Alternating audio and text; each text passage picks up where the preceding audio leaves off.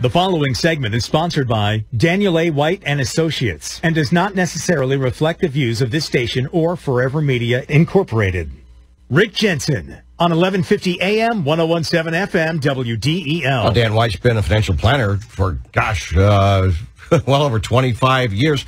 I'm a client as well, and I love to hear what he has to say after the news at 1.30 every Wednesday because there's always some good advice, and quite often it's something rather complicated, and I think, wow, good to know. I'll make a note, and I'm never going to read about it again. I'll just let someone like Dan handle it for me. Dan, how are you, buddy? I'm doing well, Rick. How are you doing? Uh, I'm okay. I saw this email from you this morning, and I, I said, um, I don't even understand what this is. so here, here's the question. Uh, how does revocation on divorce law work with ERISA plans? All right, so I know ERISA plans are like your medical, your dental, your 401k, things like that, and the federal government oversees that just to make sure that uh, no laws are being broken and people aren't getting screwed, things like that. Also, stock bonuses, profit sharing, pen, pension plans basically are, are a, a big, huge uh, part of the ERISA plans. All right, so did I get that right yeah. so far? yeah, you're right on point. All right. Now, divorce. So, so yeah, this gets complicated. There's um, and there's a couple of Supreme Court decisions on this, but it's it's it's fairly simple what you need to do. But what if you had your IRA and you named your spouse your primary beneficiary? You got divorced, you didn't change it, and then you die. Who inherits the IRA benefits? Um, well, if you live, well, that's a good question. I thought right? you. I thought. You, okay, sorry. I took that literally. I didn't realize it was rhetorical. I thought it was a quiz. Right. Okay, go ahead. So so if you live in one of, there's 26 states that have revocation on divorce laws, your ex-spouse would automatically be removed as the beneficiary upon divorce. Your IRA would go to your contingent beneficiary, or if you didn't have one, to the default beneficiary under your IRA agreement. And in 2018, there was a Supreme Court decision in uh, in Minnesota, they approved the Minnesota revocation on divorce laws that applied to life insurance. In this case, uh, the guy purchased a life insurance policy, named his wife the primary beneficiary, and two children from a prior marriage as contingents. They subsequently divorced, but he never changed the beneficiary. By the time he died, the Supreme Court ruling was that the life insurance proceeds went to the two children since the wife was removed by the revocation on divorce law. Wait a minute. Wait a minute, Dan. As soon as you said Supreme Court, I thought, okay, this is ugly. So you got these two yeah. kids from a previous marriage.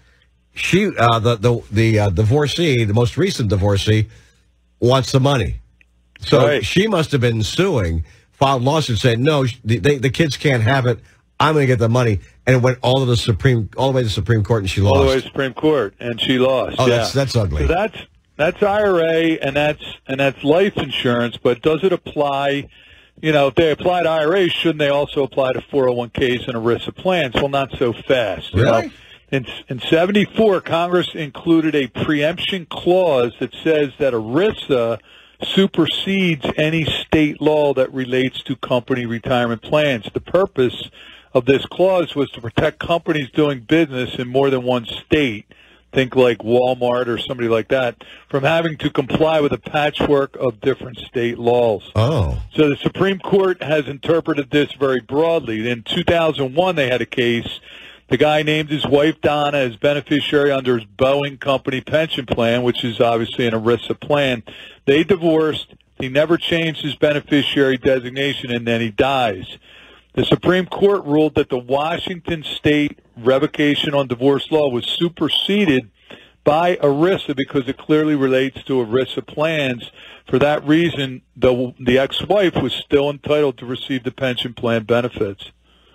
That's confusing. It is. I know. So although the revocation on divorce law is going to apply to IRAs, which aren't covered by ERISA, they can't apply to ERISA covered plans, but the big picture is this. You don't have to worry about whether your state has an ROD law or not. Just make sure you keep your beneficiaries up to date. Yeah, right? I, I, know. But that's so bizarre. But the federal government overrides the state governments in this particular case. Um, right, with ERISA plans, but not with IRAs. Not with? IRAs, yeah. And so what was the deal in Washington, though? But that was an ERISA plan, though, wasn't it? But she still got the money? It was no, it was just life insurance. Oh, oh, gotcha. Okay, yeah, life insurance. No, no, I'm sorry. Under under under the under the Boeing company case, it was in Washington, But the, the Supreme Court ruled ERISA rules over the state law. Gotcha. So I thought the Boeing case was in Washington or something, the state of Washington. Yeah, so she got she got the pension plan, even though she wasn't the beneficiary. What? That's that. That So doesn't she no, she was sense. the beneficiary, but he died. Yeah. Okay, and he never changed it, and because it was an ERISA plan, they said, okay, you you're still entitled to it. Okay. Yeah. Even Bizarre. though the state law would have said no. Right.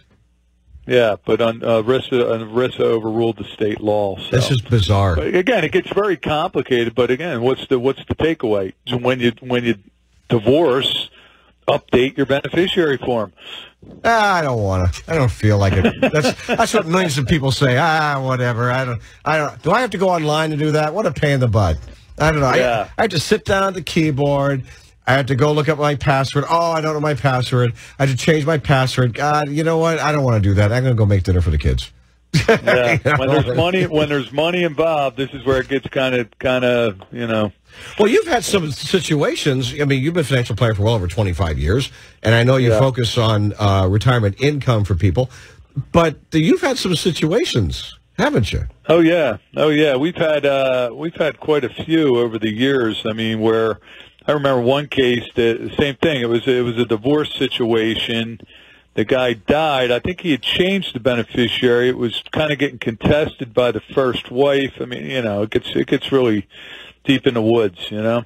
Yeah, and and I and I see also these stories about uh, you have siblings arguing because one wants more than the other one, does, and then the other one's Well, and you know what happens is I've had people say, "Oh, I'm going to name one of my kids as the as the beneficiary." I'm like, "Well, why not all four?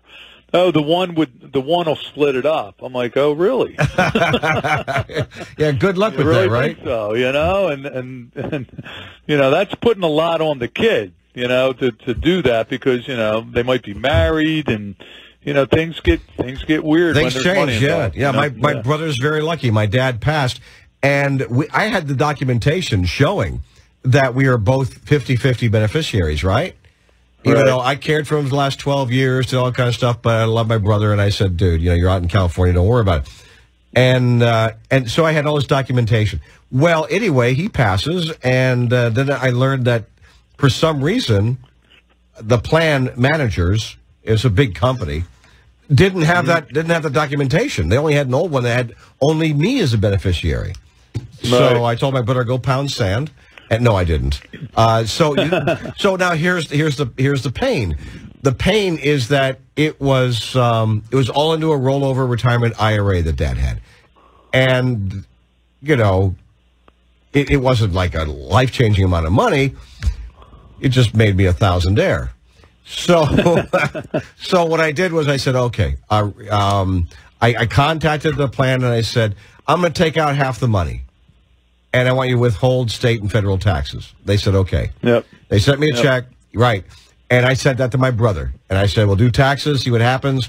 Uh, yada yada yada. He said, "Thank you." I said, uh, "Well, darn tootin', you're uh, you're thanking me because so many times this stuff doesn't work that way." So I gave him half that stuff, and now we're each a thousandaire.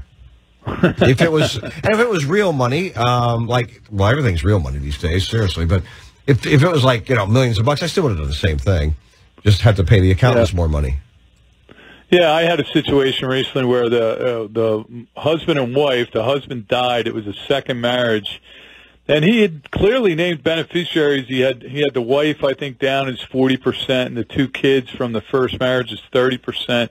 And still, the kids were the kids were fighting, you know, fighting the stepmom over it, even though it was pretty clear, you know, how he had intended it. But I mean, it's you know, this is this is the nature of the beast. Like I said, when there's money involved, people people get a little squirrely. Did they hate the stepmom from day one? Uh, I think it's safe to say they won't be breaking bread at Thanksgiving anymore. Or were they even beforehand?